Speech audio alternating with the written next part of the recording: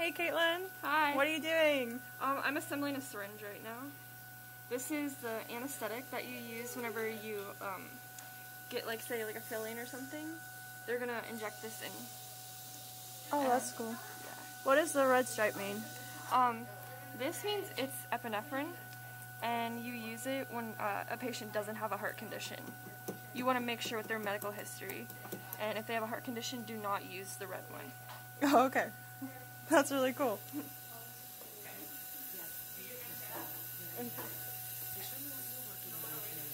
Okay.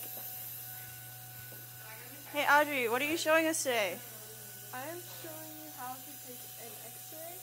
I am taking one of the premolars. I'm just going to line it up. Kid.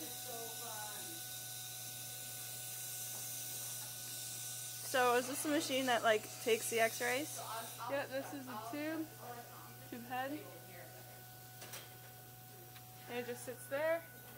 And then you come over. Setting. And you hold it down. How far away do you have to be from that to take your X-ray? You have to stand at least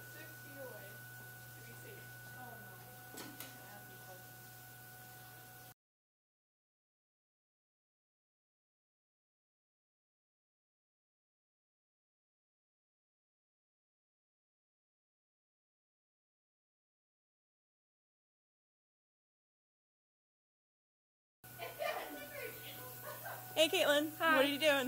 Um, I'm assembling a syringe right now. Um, so this is used for, say if you're getting a filling, this is used to numb your mouth. Oh. There's a lot of different colors there. What are all those for? Well, these, these are used, uh, say this is a long syringe and you want to use it in the upper arch of your mouth. And then the lower, these are the short ones and you use this in the lower. And then uh, you see how this is red? You want to make sure um, you know the difference between this one and this one. This one you would use if a patient has a heart condition. You do not use the red one if they have a heart condition because it contains epinephrine and that will cause problems. Oh, so the needle's in here. Yes. Can we see it? Yeah. Ooh. Let's see. Okay, so you put the cap in here. What's that for? Um, so you don't uh, puncture yourself. You don't want to get hurt by this. Oh, that's really cool. Well, thanks for showing us, Caitlin. You're welcome. Hey, Audrey. Hello. What are you doing today? I'm going to be taking x-rays of the premolars.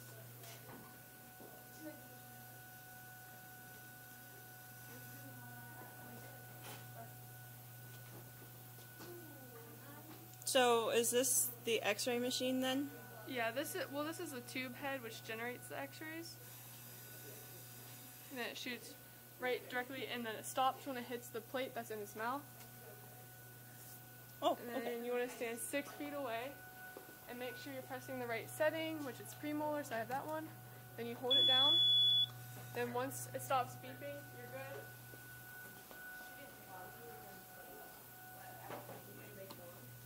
Take it out and take it to the scanner. Abby, are you the scanner today? Yes, I am the scanner. Audrey brings me her x-ray. I take it out of the covering and put it in the scanner.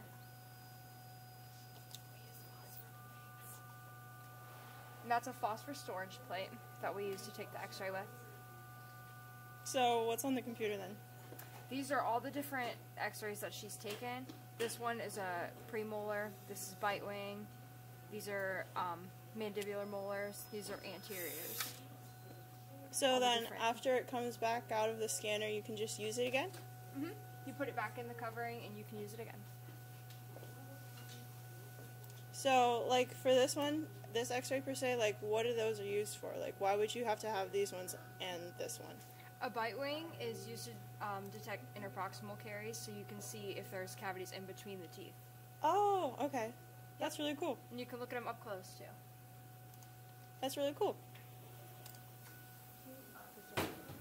Riley, Brooke, what are you guys doing? Who is this? Oh, this is Fred. Fred? Yes. Fred. We're working on chair side assisting. Yep. And suctioning and stuff. Yeah. So, Wait, Brooke, what instrument do you have then? I have the HVE. So I'm what's using the suction.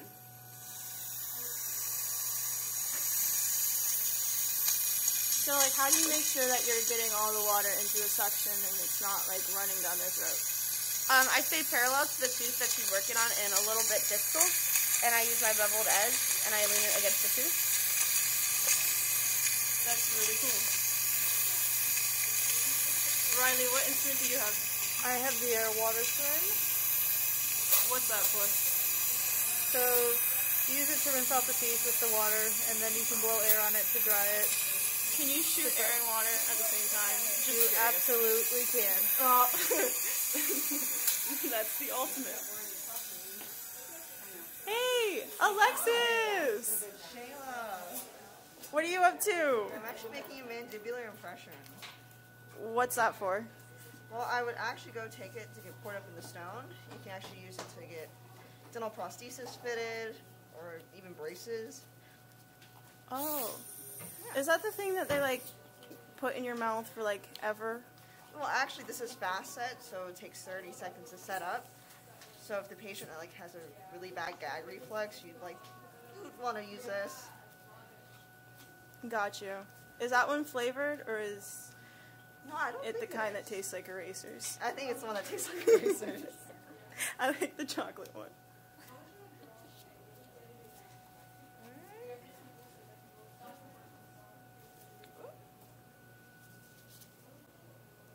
That looks like a lot. Why do you need so much?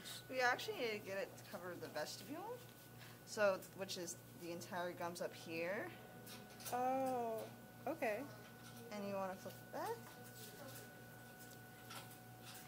Yeah, now we just have to wait around 30 seconds. While you're doing that, you want to make sure everything's all cleaned before it sets up.